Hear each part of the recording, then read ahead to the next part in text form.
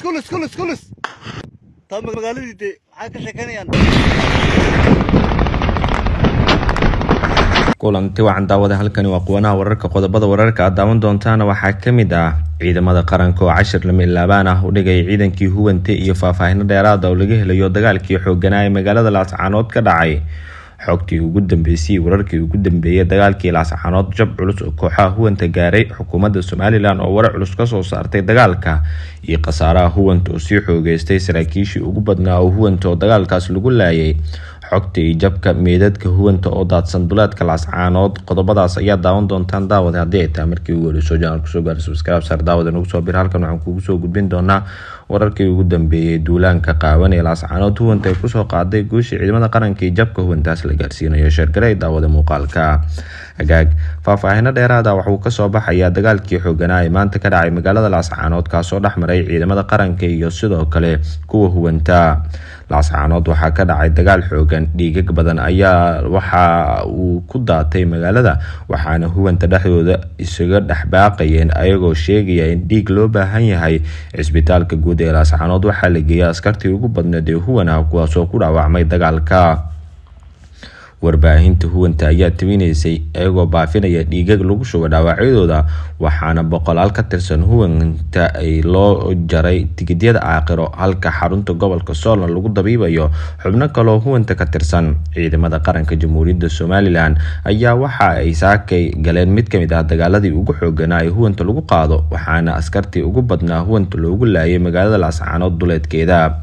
aaga bari iyo sidoo kale dhul kale oo ka mid ah ayaa waxaa ku dagaalameen ciidamada qaranka iyo kuwa huwanta waxaana halkaas kuwa huwanta lagaga jebiyey ciidankoodii ugu badnaa. Ciidamada huwanta oo isku dayeysay inay furtaan jidka toga maraaga ayaa howlgalkooda uu fashilmay kadib markii halkaas ciidamada qaranku ay u baacdhigi waayeen xaalada laascaanood ayaa waxay u muuqataa mid hadda gacanta ciidamada qaranka soo galaysa madaxweynaha somalilan ayaa xiriiriyey dagaalka laascaanood iyo kan gacan libaax isagoo sheegay in markii ururada tartankooda la furay uu bilowday dagaalka laascaanood kadib markii doorashada qaranka la mudeeyay ay bilaabatay dagaalka madaxweyne biixi ayaa amray in gacanta lagu soo dhigo dadka hubeysan ee ka soo horjeeda siyaasadiisa ee kusugan gacan libaax sharcigana la horkeeno wuxuuna sidoo kale sheegay in dagaalka laascaanood uu yahay mid ka mid ah dagaalada ugu adkaaya qarankii uu wajaho taas bedelkeedna aanu marnabo qaranka niyajabi doonin sida uu hadalka u dhigay madaxweyne muuse biixi cabdi. Madaxweynaha waxa uu sheegay in hadda dagaalka socdo uu yahay mid qaranka lagu sifeynayo waxaana uu sheegay inaysan u abayeeli doonin cid kastoo qarannimada somalilan hortaagan xaalada guud ee magaalada laascaanood caawa waa mid kacsan sida muuqatana waxaa xubno badan oo ka mid ah horjoogayaasha ay ku dhinteen dagaalka cornel siigaale oo ka mid ahaa ragga laga amar qaato ee kusugnaa laascaanood ayaa ka mid noqday xubnaha ku dhintay dagaalka laascaanood wuxuuna ka mid ahaa horjoogayaasha ugu waaweyn. Sidaas oo kale gaadiid la soo bandhigay ayaa waxa ay muujinayaan gaadiidka dagaal ee huwanta ay ku dagaalamayeen oo ciidamada qaranka gacanta ay ku dhigeen. Faahfaahintuna waxay sheegaysaa in dhaawacyada cisbitaalka la geeyay ay kor u dhaafayaan boqol iyo konton askari kuwaas oo ka tirsan huwanta boqolaal kalena waxaa loo jiray tikidhada aakhiro sida ay sheegeen saraakiisha ciidamada qaranka amiir dhigaale oo ka mid ahaa waxgaradka laascaanood ahna dadka naceebka somalilan uu ku jiray ayaa ka mid ah dadka ku geeriyooda dagaalka ay ka horeeyeen huwanta kaas oo ka dhacay magaalada rasaas u socotay waxay u gashay guriga uu degnaa oo ahaana waa keedka huwanta ee hubka gurigiisa. Ayaa waxaa sidoo kale ka qarxay hubkaas sida xogtaynu ku ogaanay. Ciidamada qaranka hadda waxay u sigteen ag isku wareega oo dhanka maraaga. Ciidanka jamhuuriyadda barakeysanna waxay jabkii ugu weynaa ay u geysteen huwanta. Maleeshiyaadka sidoo kale ka soo duulay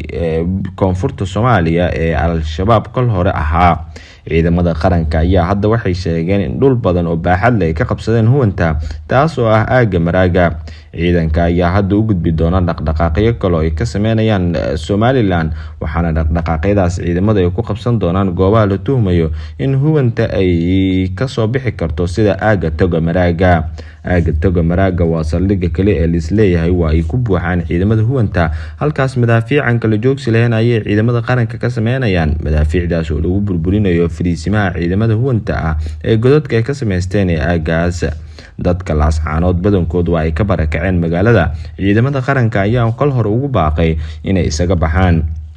halkaas maadaama dagaalku uu xoogeysan karo lagana yaabay in gudaha magaalada ciidamada qaranka ay u soo daataan. Sidaas oo kale ciidamada qaranka ayaa waxay yareeyeen dhaqdhaqaaq kasta oo magaalada soo geli kara. Dagaalkii ka dhacay aaga gobolka soolna waxa uu hadda ciidamada isku horfadhiyaan maleeshiyaadka huwanta oo weerar ahaa ayaana dib ugu yaacay. Dhinaca gudaha laascaanood wararkaan helayno dhinaca talisku waxay sheegayaan in ciidamada qaranku khasaarahooda dagaalkaas uu kooban yahay. Ciidamada qaranka jamhuuriyadda ee gobolka sool ka dagaalamay ayaa waqtigii quraacda waxay kooxda huwanta ee laascanood ku sugan kala soo kalahday ciidamada qaranka weeraro u badan hoobiyaal ciidanka qaranka oo ku jawaabay dagaalka si weyn ayaa loogu dareemay waxaana taasi ay keentay in ciidamada qaranku ay iska kala ceeriyaan xubnihii duulaanka soo qaaday. Inkastoo huwanta ay bilaabeen madaafiic haddana madaafiicdaas waxay keeneen in qaarkood ay u tuuraan gudaha magaalada. Gudaha magaalada waxaa ku sugnan xubno ka tirsan huwanta hogaankooda waxaana huwanta hogaankoodu ay sheegeen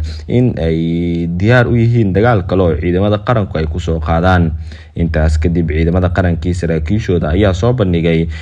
jab xoogan oo huwanta gaaray waxaana la soo bandhigay gaadiid dagaal kuwii ugu badnaa oo afar juhaaye ka soo duushay huwanta afartoodana gaadiidkooda waa laga qabsaday. Goobihii dagaalka ka dhacay waxaa yaalla dhaawacyadii meedadka huwanta ay ka carareen taas oo ciidamada qaranku ay soo bandhigeen. Sidaas oo kale ciidamada qaranka ayaa soo bandhigay askar ka tirsan kuwa huwanta oo goostay waxaana ciidamada qaranka ee cashirkaas u dhigay huwanta ay hadda ku sugan yihiin aagga bari ee magaalada. Dhaqdhaqaaqa guud ee magaalada waa mid kacsan. Gudaha magaalada cidna looma ogolo xukuumadda somalilan waxay sheegtay in dagaalka laascaanood uu yahay mid ay huwanta kula dagaalami doonaan goob kasta oo la tuhumayo inay ka soo dhaqaaqi karaan amaba goob kasta oo banaanka laascaanood ah. Sidaas oo kale ciidamada waxay isku dayi doonaan inay ilaaliyaan dhaqdhaqaaqa gudaha magaalada oo huwanta looma ogolaanayo inay sameeyaan wax dhaqdhaqaaq ah oo ay ugu soo bixi karaan magaalada laascaanood amaba banaankeeda gurmud ugu iman karo. Waxay dagaalkan sababtay u soo qaadeen ay tahay inay isku dayaan in ay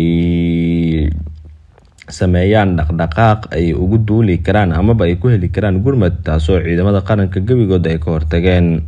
sidaas oo kale wasaaradda difaaca jamhuuriyadda somalilan ayaa waxay ka hadashay weerar fariisimaha ciidamada qaranka ee jamhuuriyadda somalilan ay ku soo qaadeen kooxaha huwanta iyo maamulka puntland. Wasaaradda gaashaandhigga ayaa cambaareysay falkaas gardarada ah. Jamhuuriyadda somalilan waxay bogaadisay ciidamada qaranka ee difaacay waxaana fariin ay u dirtay beesha caalamka iyo dalalka.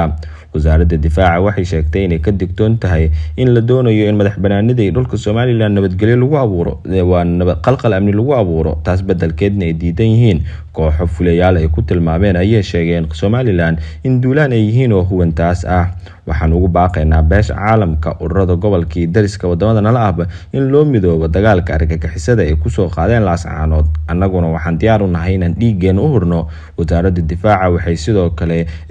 aada u ammaaneysaa ciidamada qaranka ee geesiyaasha ah kuwaas oo qarannimada somalilan difaacaya duurkana kula dagaalaya. Xubnaha huwanta ayaa lagu yiri waraaqda ka soo baxday ciidamada qaranka gaar ahaan wasaaradda gaashaandhigga nabadgelyo daawade